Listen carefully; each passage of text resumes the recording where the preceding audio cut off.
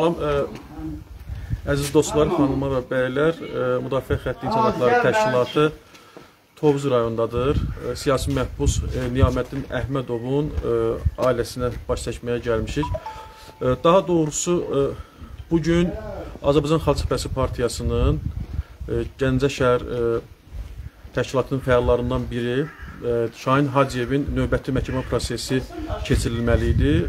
Biz Gəncə ə, şəhərində ə, olduq və məlum oldu ki, 17:30-a təyin olunub. Ə, Boş vaxtı fürsəti fövtə vermədik. Niyaməddin bəyin də vəziyyəti son dərəcə saxlandığı cəza çəkmə müəssisəsində ağır qiymətləndirilir, işgəncə verilir adama, ə, karsa bağlayıblar, pis rəftar göstəriblər.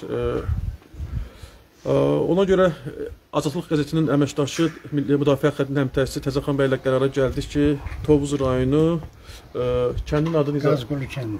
Aha, kəndə yaxınlaşdıq və Niyaməddin bəyin ə, ata ocağındayıq dostlar.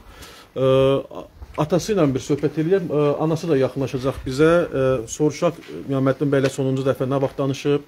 Ümumiyyətlə bu işgəncələrlə bağlı kim tətbiq edir bu işgəncələri, səbəblər nədən ibarətdir? Buyurun da.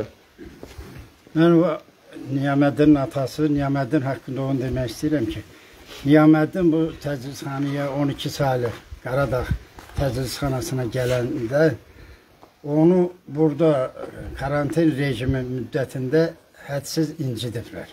Bunu yəni incitmək öz mənəfiləri üçün olub. Müəyyən dərəcə bunu səni çölə buraxmağın pulunlandı, otaqlar pulunlandı, müəyyən şeylər buna tətbiq eləyəndə bu müəyyən dərəcədə bunu özünü müdafiə kimi, yəni bu qayda qanundan kənar buna müəyyən dərəcə məcburiyyətlər eləyəndə bu buna əks cavab verir ki, yəni bura elə bir yerdir ki, yəni hər bir şeydə elə mən ayağımı tərpədəndə pul lazımdır, pulla Əslində getmək üzr otaq- istəyirəm Ağsaqqal. Elə Niyaməddin düz deyib. Ora elə bir yerdir. Özüm də keçmiş siyasi məhbusam. Bəli. Dəfələrlə çıxışlarımda söyləmişəm ki, Azərbaycanda cəza çəkmə müəssisələri, istintaq təzyiqxanaları ə, qapalı tipli səhmdar cəmiyyətidir. Hətta bir dəfə bənzətmə eləmişdim ki, bu PNTS xidmətinin rəisi Ceyhun Həsənov yoxdurmu?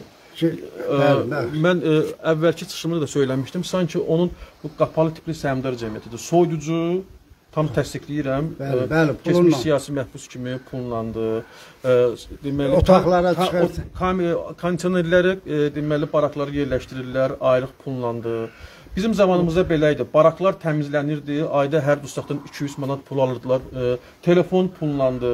Ə, uzun müddətli görüşlərin vaxtında dəyişiklik varsa ə, punlandı. Bir sözlə Adi otaqlara buraxmaq. cəza çəkmək həm də punlandı. Pulla. Buyurun. Yəni sonuncu dəfə nə vaxt Bununla danışıb? əlaqədar başına dönüm. Bununla əlaqədar Niyaməddin buna da belə şey tələb eləyəndə ki, yanım belə şey mən niyə məcbur edim? Mən bu gəlmişəm bir buranın mühitinlə bir öyrənim. Bunu oranın mavini, həmən nəfsxananın mavini, Adı nədir onun? onun adı Babək İskəndərov. Yanında da Qolubəyi var, qoçusu, mayordur. İndi adını dəqiqləyə bilmirəm. Yəqin görgəllər o da. bilir. Neçə saylı cəza çəkmə müəssisəsi? 12 saylı, 12 Qaradağ 12 saylı cəza çəkmə müəssisəsindədir bu hadisələrin olmağı. Niyaməddini çağırıb kabinetində Babəklə, həmən mayor ikisi də, biri hələ döyməklə razılaşmışlar, ikisi də Niyaməddini döyüb və qubbaq veriblər ikisinə də. Özü də hətta döyəndə deyib elə eləmə ki, bura sən sənə çöl döy, burada səni e, pa pakov eləyib evə göndərirəm səni. Hətta buna müəyyən tərslər gəlir ki, səni öldürüb, yəni göndərir evə Burada də. bir göndərir. üzr istəyirəm. Ə, Əslində mən ə, canlı yayımın əvvəlində bir məlumat verməli idim. Baxmayaraq ki, Niyaməddin Əhmədov ə, ə, siyasi məhbus kimi ə, Azərbaycan cəmiyyətinə yaxından tanışdır, amma qısa arayış verim ki, Niyaməddin Əhmədov Azərbaycan Xalq Cəbhəsi Partiyası sədrinin ə, ictimai əsaslar üzrə mühafizəçisidir. Niyaməddin Əhmədov Azərbaycan hakimiyyətinin mənfi anlamda diqqətini 19 oktyabr 2019-cu ildə Milli Şuranın təyin elədiyi mitingdən sonra cəlb edibdir. Həmin dövrdə xatırlayırıq biz Xalq Cəbhəsi Partiyasının sədri Əli bəyin yanında 2-3 şəxs sona qədər qaldı. O cümlədən də o cümlədən də demək e, Niyaməddin bəy. Ondan sonra Niyaməddini sırf saxta əsaslarla e, biz xatırlayırıq. İnzibati qaydada həbs etdilər. E, onu inzibati həbsdə olduğu müddətdə e, ayrı-ayrı e, deməli hüquq mühafizə orqanları həm e, eyni zamanda dövlət təhlükəsizlik xidməti bir neçə dəfə aparıb işgəncəyə məruz qoyub yenidən qaytarmışdı. E, deməli e, Daxili İşlər Nazirliyi e, deməli e, müvəqqəti saxlanılan, ustaqlıq verilən müəssisəyə Həmin dövrdə Niyaməddini təqsirləndirdilər terrorçuluğu güya maliyyələşdirmədə. Bu gün Niyaməddin 13 il müddətinə azadlıqdan məhrum edilib, hökumət ondan əl çəkmir. 3-4 gündür ki, etap olunubdur 12 saylı cəza çəkmə müəssisəsinə. Burada da artıq e, Niyaməddini e, təcrid ediblər e, zondan cərimə təzyiqxanasına yəni Karsa, orada e, Kars Karsa bağlayıblar. E, Şkonkaya, dəmir çarpayıya zəncirləyiblər, döyüblər, təhqir ediblər, üzərində 73 manat pul var, onu götürüblər. Adamın yeganə təqsiri bundan ibarətdir ki, dırnaq arası bu adam e, müxalifət partiyasının üzvüdür və xüsusilə də partiya sədrinin mühafizəçisidir. Təqsir bundan ibarətdir, dırnaqarası. Bundan sonra isə hələ ki Azərbaycan hakimiyyəti işgəncə, pis rəftar, ləyaqətə asadan davranışları davam edir. Amma indi bunların son tələbi nədir? Nə istəyirlər Niyaməd? Mənim son tələbim budur Yox, sizin yox, onların, hakimiyyətin. Hakimiyyətin son tələbi budur ki, bunun müəyyən vaxtlarda vəbşi məcbur elədilər ki, Əli Kərimin əleyhinə ifadə. Əleyhinə ifadələr versin, nə bilim, xalq cəbhəsini müəyyən onların yazıb göstərişi ilə oraya qol çəkməli idi. Onu oxuyub ifadə. Onu eləmədiyi üçün bunun yeganə təqsiri ancaq bu olubdur. Burada terroru maliyyələşdirmək. Bu halbuki Arif bəy, ə, aclıq aksiyasının başlaması barədə məlumat gəlmişdi. Bununla bağlı telefonda nəsə, nəsə bir söz söylədi. Deydi, deyir mən aclıq elan eləyib indi təzə burada. Hazırda bu dəqiqə Hazırda aclığı elan eləyib 6-cı, 7-ci gündür. Hələ bir dəfə ondan soruşmuyublar ki, sən nahəyə görə eləyibsən. Nə yanına gələn var, nə gedən var. Hətta bununla salam verən məhbusu aparıb döyürlər. Oradan bununla ki, salam verir, bununla söhbət eləyən məhbusu da çəkib döyürlər hələ. Yəni buna çox qadağalar Yox, qoyur. mən sizə bir söz deyim də, hazırda bunların e, idarəçilik üslubuna, ümumiyyətlə də bizi dinləyən insanlar da e, e, əmin olsun, idarəçilik üslubuna, cəza icra siyasətinə, bütövlükdə Niyaməddin statusunda siyasi məhsulların münasibətini mən belə izah edeyim də. Hazırda bunlar yarışı gediblər. Tutalım ki, rəislə rəis müavini, idarə edən idarə rəisi müavini arasında yarış kim nə qədər məsəl üçün Niyaməddin Əhmədova daha çox pis rəftar göstərəcək.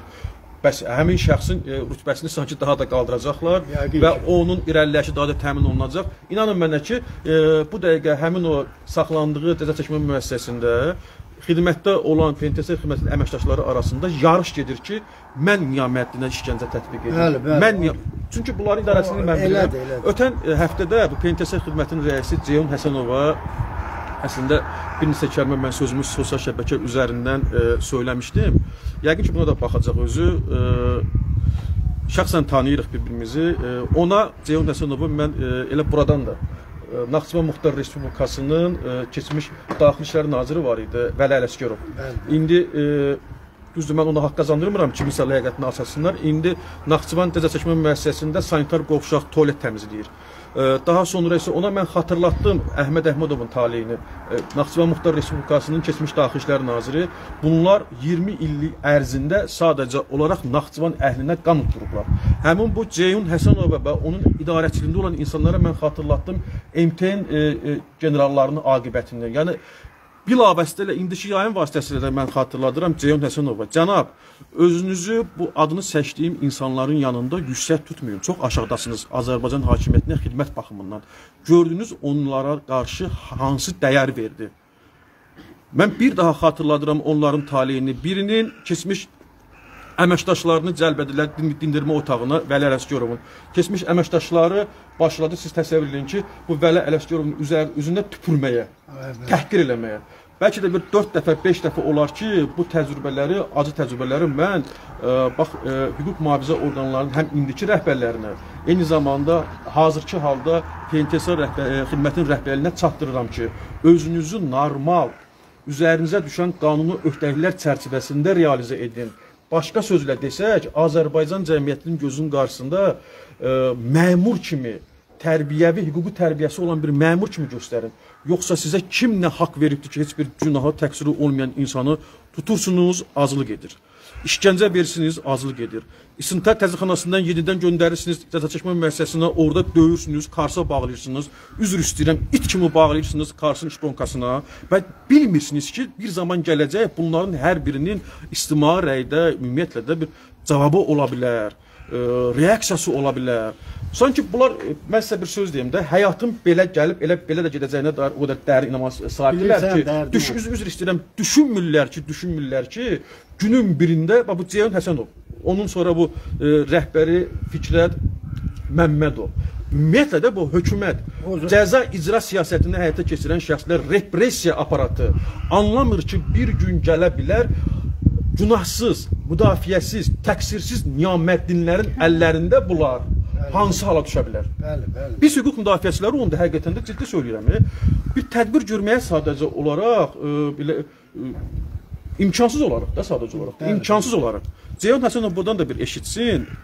Xahiş edirəm sizdən ilk növbədə, bir də tələb edirəm. Yəni bizim heç kimin qarşısında nə e, narahatçılığımız, nə vəzifəmiz, öhdəliyimiz, qorxumuz və s. və ilaxır yoxdur. Özünüzü general leytenant olaraq, penitensiar xidmətinin rəisi olaraq məsuliyyətli bilin. Ümumiyyətlə o xidmətdə nələr baş verirsə, fərqi yoxdur. Hamısına Fərqi yoxdur. İstintaq təzyiqxanasının sanitar qovşağındakı olan unitazdan tutmuş, ta ki yanınızda olan o köməkçiyə qədər, aşağıdan yuxarıya qədər nə baş verirsə bir bir saylı məsuliyyət daşıyıcısı siz özünüzsüz. Niyaməddinin də saxlandığı müəssisədə, müəssisədə adamın həyatı, sağlamlığı ilə bağlı olaraq məsuliyyət daşıyıcısı bir saylı siz özünüzsünüz.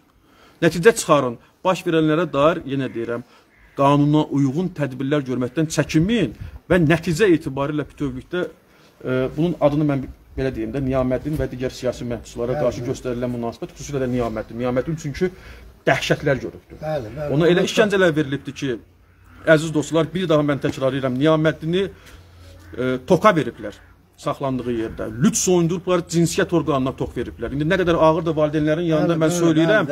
e, bəlkə də indi əslində düz eləmirəm, amma qoy cəmiyyət bir daha başa düşsün, bilsin ki, cəmiyyət bilməlidir. adamı O çarmıx haqsızlıqları cəmiyyət bilməlidir. çarmıxa çəkiblər. Niyaməddin Əhmədovu çarmıxa çəkiblər sadəcə olaraq. Çarmıxa. Bu hər bir vətəndaşın başına gələcək. günlər, günlərlə adamı zəncirləyiblər şkonkuya, dəmir çarpayıya. Bu vicdansızlar, bu mənəviyyatsızlar, bu cinayətkarlar bunlarla yetinməyibdi. 3 ilə yaxındır həbsdədir, yenə bundan əl çəkmirlər. Əki adam sınmır da, sınmır insan. İnsan gənc insandır. Bax harda böyüyübdür? Kasıb bir yerdə, Tovuzun kəndindəyik. E, sadəcə olaraq e, maddi sıxıntılar içində böyüməsi, böyüməsinə baxmayaraq e, bu iki valideyn belə bir vətənpərvər, fədakar, cəsur, xalqının, dövlətinin, cəmiyyətinin maraqlarını güdən bir vətəndaş yetişdiribdir və bu gün sizin bu eybəcər siyasətinizə bu adam reverans etmir. İndi bunun düşüncəsi budur. Yaxşı bu 3 il ərzində bunu test etdiniz, təcrübədən keçirdiniz. Bu adam sınmır da. Nə etmək istəyirsiniz? Yaxşı. Nə etmək istəyirsiniz? fikirləri dərdir. fikirləri Bunların öldürmək. Fikirləri bunun axırına çıxmaqdır. Bunun da həmən o cə- 12 saylı cəza çəkmə Qaradağ 12 saylı cəza çəkmə müəssisəsinin də rəhbəri rəisi Mehman Əhmədovdur. O da bunu görməməzliyə vurur. Özü nəzarət eləyir o işlərin hamısını. Hamısında da xəbərləri var hər bir şey. Bunların onun qolu bəyi şey, mavini Babək İskəndərov o da yanında qoçu saxlayır. Mayor adını indi yəqin ki bu yaxın vaxtlarda öyrənilib o da deyil ki, bütün oradakı işlərin hamısını Niyaməddinin də nə tərdimdə insana olmaz işgəncələr Arif dayı, edirlər. təkcə Biz orada- dedik ki, indi bunun işgəncə müddəti o- yeni olan vaxtı, yeni tutulan vaxtı. O DDK təhlükəsizlik şeylərində elə bir cəzalar verdi ki, bunu işə qalsa 20 il işə əvəz. Yox, bir cəzalar üzr istəyirəm. Bunu Mən- indi də gəlib üzr istəyirəm. Axsaqqa bir dəqiqə çox üzr istəyirəm. Mən buradan bu Ceyhun Həsənov var, bir daha onu xatırladıram. 9 saylı e, cəza çəkmə müəssisəsində əziz dostlar, deməli bu ləğv olunmuş Milli Təhlükəsizlik Nazirliyinin keçmiş deməli idarə rəisi, antiterror mərkəzinin rəisi Elçin Quliyev, general mayor. Bu adam bu cəmiyyətdə nə oyunlardan, nə cinayətlərdən çıxmadı, neçə-neçə evlər yıxdı Ağsaqqal, neçə-neçə insanların həyatının üzərindən xətt çəkibdi. Yəni düşünürdü ki, antiterror mərkəzinin rəisi kimi e, istənilən əməli, hərəkəti, hərəkətsizliyi heç bir hüquqi məsuliyyət doğurmur. Bir sözlə bildiyiniz, biraz kobud səslənsə də desək, qudurmuşdu. Bəli, bəli. İndi Ceyhun Həsənov sizə səslənirəm. Gözünüzün qabağında həmin bu Elçin Quliyev zırın-zırın ağlayır, məliyir. Siz ondan daha çox hazırki hakimiyyətə xidmət göstərəcəksiniz. Milli Təhlükəsizlik Nazirliyi o başında duran o quldur e, Eldar Mahmudovun dəstəsindən daha çox hazırki hakimiyyətə xidmət göstərəcəksiniz. Günün birində bu Elçinidir, Akifidir, digərləridir. Atdılar hərəsini bir küncə. Yenə deyirəm, bax bu gün də əlinizdədir. 9 saylı təşkil müəssisəsində bu Elçin zırın-zırın məliyir. Mənim gözlərimin qarşısında olub. Bunlardan dərs çıxardın da, nəticə çıxarın da və başa düşün, anlayın ki, belə bir təcrübə günün birində sizin də başınıza gələ bilər. Anlayın bunu. Qadan alim, sizə mən bunu da bildirmək istəyirəm ki, bu töhmət veriblər bu niyamədinə. Bunu da məqsədə uyğun öz fikirlərlə nə barədə indi bunların gələcək planlarının nəyinəsə istifadə eləmək məqsədinə bunu nə işə töhmət verilir. Bax bu nə iş görüb ki, buna bax orada töhmət verilir. Bax bunun bunu, bunların vicdan deyilən şey, bu qardaşım demişəm. Bunlar o qədər bağışlayın mənim millətim də bağışlasın. Siz də mənə bağışlayın. Bunlar uca qayda qanun yox, e, bunlar harınıyıb, insanlıqdan çıxıb. Bunlar Allahı da unudub, bəndiyi də unudub. Azərbaycan vətəndaşlarının vəbşi insan gözündən baxmırlar bu məmurlar. Öz balaları bu keyflərdədir. Sabah bir iş olan kimi həmən vətəndaşlar Azərbaycanda vətənpərvər oğullar aparıb bada verir. Yəni bir iş olsa, bir onun da əziyyətini çəkən həmən oğlanlardır. O düz belə mənəmli, mərd, qriyyatlı olanlardır. Bunlar ancaq bunlara qəsdlə, ayaqlamaqla, onlara çatmaqla, cəhamatın gözünü qorxudur. Nədir məqsədləri bu? Bu belə haqsızlıq ola bilməz axı. Bunun heç bir sonu olmalıdır. Bir, nə qədər bunun böyüyü sada başda oturan ölkənin rəhbəri sada buna fikir vermirmi? Buna bir dəfələrlə yalan hakim məhkəmələr olub. Bu yalandan da birinci orada deyiləndən sonra bunu niyə vaxt uzadır? Yalandan cəhamatı niyə alladır? Bu operasiya məhkəməsi də bu obisi məhkəməsi. Yəni burada bir haqqı, ədaləti bərpa eləməyəndən sonra, ona fikir verilməyəndən sonra bunun nə mənası var ki, bunun adlarını qoyublar? İndi yəqin ki, mənası budur ki, üzr istəyirəm, mən üzr istəyirəm. Mənası bu çox təəssüf ki, bax e, yenə xatırladıram dostlar. Niyaməddin Əhmədovun Tovuz rayonunda e, deməli ə, Tovuz şəhərinin yaxınlığındakı bir kənddir. Gəlmişik, bax yaşadığı yerə baxın. Ə, imkansız, çətin bir şəraitdə bir ə, yaşayan, boya başlayan bir oğuldur. Durub gəlib şəhərin mərkəzinə ortaya belə bir ə, vətəndaş mövqeyi qoyur, fədakarlıq nümunəsi ortaya qoyur. Hakimiyyət belə bir münasibət qoyur. Azərbaycan cəmiyyəti isə belə hallara əsas etibarilə susqunluq nümayiş elətdirir. Bəli, bəli. Bu susqunluğun qabağında nə olmalıdır? Bu susqunluğun qabağında bu hökumət, onun nazirləri məsuliyyətsiz, hesabatsız olmalıdır. İstintar təsdiqxanalara danışmırıq. Zonlar, cəzaçəkmə müəssisələrindən bəhs etmirik. Bu, bu, bu müəssisələrə dədə malı kimi baxmalıdırlar, kommersiya obyekti kimi baxmalıdırlar. Çünki məsuliyyət, məsuliyyət soruşan yoxdur axı. Bəli, bəli. Məsəl üçün bax bu e, Ceyhun Həsənovdan, Fikrət Məmmədovdan, onların hərəkətləri, əməlləri barədə biz cəmiyyət olaraq bir nə zaman bir məsuliyyət sorduq ki, onlar da hazırki idarə etdikləri e, deməli dövlət hakimiyyət orqanlarına, institutlarına özlərinin mülkləri, miras qalmış obyektləri kimi yanaşmasın. Olub belə bir şey. Niyaməddin Əhmədov sizin probleminizdir. Bəli. Azərbaycan Xalq Partiyasının problemidir. Bir neçə jurnalistin, bir neçə də hüquq müdafiəçisinin dairə qapandı. Qadan alım o Niyaməddin yəni fərdi qaydada günəmuz işləyən kasıb uşaqdır. O onun heç şeyini, kirəsinin pulunu verə bilmir. Bunda maliyyələşdirmə, maliyyələşdirmə şeyi ola bilərmi bu insan? Bir adam ki, heç vaxtı vaxtında öz qaldığı kirəsini verə bilməyən şu Absurd, terroru, absurd, terroru maliyyələşdirmə. İndi də verdiniz yaxşı. Bir belə də əziyyət veribsiniz. O əziyyətləriniz də nə qədər işgəncələr verilibsiniz. Bunu da elə 20 ilə əvəzdir. İndi sada yekunlaşdırın bir Allahınız mənim insafınız olsun. Belə bir şey, yəni bu gerdə qalan millət Nə qədər aşağılamaq olar bu Azərbaycan xalqına? Belə də hakimiyyət olar. Təsəvvür edin ki, bax indi bəs sizlə canlı yayım eləmirik. Tam əmni oturublar. Tam o e, vəzifəli şəxslər İndi tutalım indi mən daxili işlər orqanları, e, dövlət təhlükəsizlik xidməti, gömrük vergidən bəsiləsi deyiləm. Bu ölkənin vəziyyəti ümumən hansı durumdadır onu bilirik. İndi biz ədliyyə sistemindən, pentas xidməti rəhbərindən indi oturublar, bunun rəisidir, Ceyhun Həsənov, müavinləridir, nazir oturublar bizə gülürlər. İnanırsınız? Bəli, çünki məsuliyyət hissi yoxdur. Yoxdur, yoxdur. Ona görə ki, bu Azərbaycan xalqını o qədər aşağılayırlar. Nə qədər namusunu, qiriyyatını bilirlər. Qurban olum ey millətimin elə namuslu da Azərbaycan xalqından da mərd, namuslu, qeyriyyətli millət yox. İntihası bu məmurlar qardaş bunları aşağılayıb. İnsan gözündən görmür, keyfləri istədiyini, otana şey, şey, nədir?